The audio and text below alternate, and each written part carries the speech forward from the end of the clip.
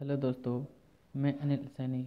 स्वागत है आपका एक बार मेरे इस यूट्यूब चैनल पर, जिसमें मैं आज आपको बताऊँगा कि हाइड्रोलिक जैक की सहायता से स्लैब को कैसे उठाया जाता है और कुछ उसके मैं वीडियो, एक वीडियो बनाया मैंने उसी का कि उसको जो हम साइट पर कैसे यूज़ करते हैं, उठाते कैसे हैं स्लैब को और हमें उठाने की ज़रूरत क्यों पड़ती है। तो दोस्तों आइए देखते हैं।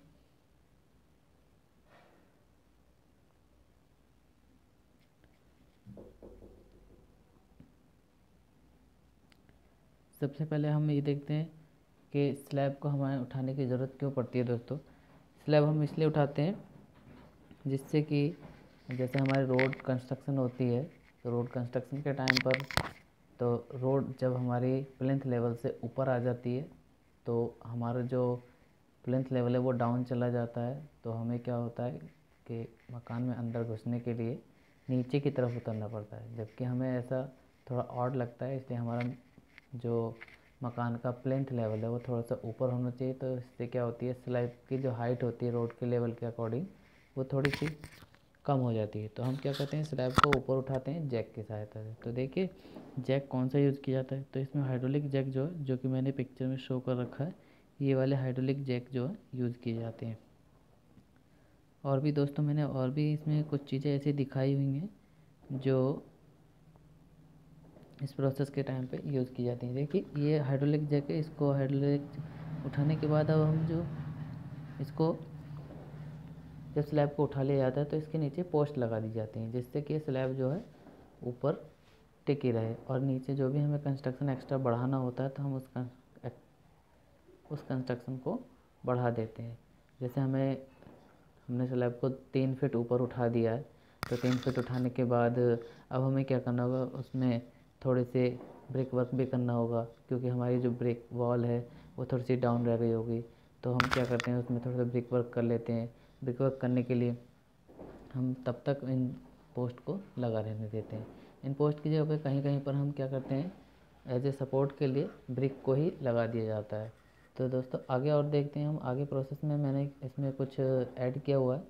तो कुछ इस तरीके से पोस्ट लगी हुई हैं और थोड़ा सा हम आगे देखते हैं। ये देखिए एक्चुअल फ़ोटो है ये हमारी। तो एक्चुअल फ़ोटो कुछ इस तरीके से होती है कि ये जो लकड़ी के ब्लॉक लगे हुए हैं यहाँ पर,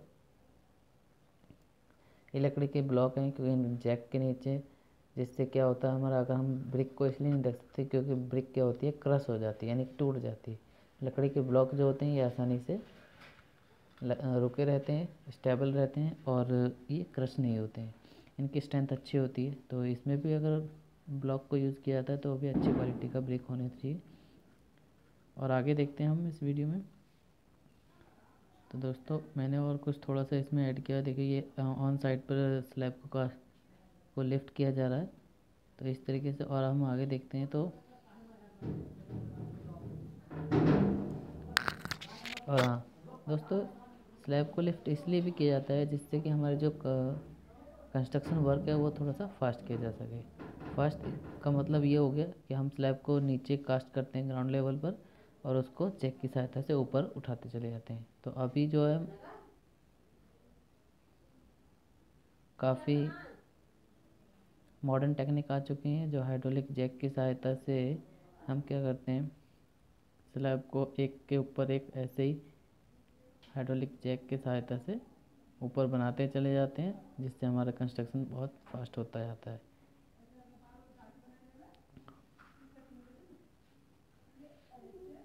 दोस्तों, कुछ और भी एग्जांपल मैंने इसमें एग्जांपल के लिए दिखाए हैं। ये देखिए, कुछ इस तरीके का ये प्रोसेस है।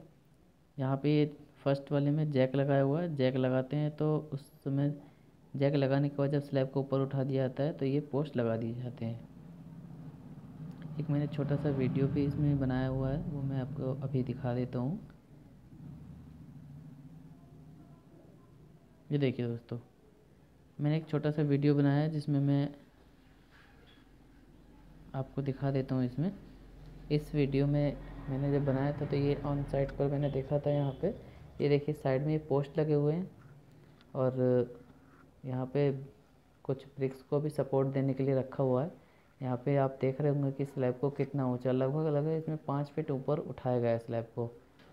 क्योंकि इसमें जो रोड का लेवल है, वो थोड़ा सा अप हो गया था तो स्लैब की जो हाइट है, वो कुछ कम हो गई थी रोड के अकॉर्डिंग तो इसलिए इन्होंने क्या किया लेंटर को थोड़ा सा स्लैब कह सकते हैं लोकल लैंग्वेज में लेंटर बोलते हैं। तो इसलिए मैंने भी यहाँ पे आपके लिए लेंटर का यूज़ किया तो यहाँ पे देख सकते हैं आप स्लैब को किस तरीके से ऊपर उठाया हुआ है।